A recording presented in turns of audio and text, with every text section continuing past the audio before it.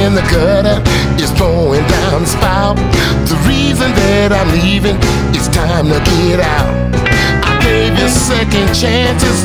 This time I'm through.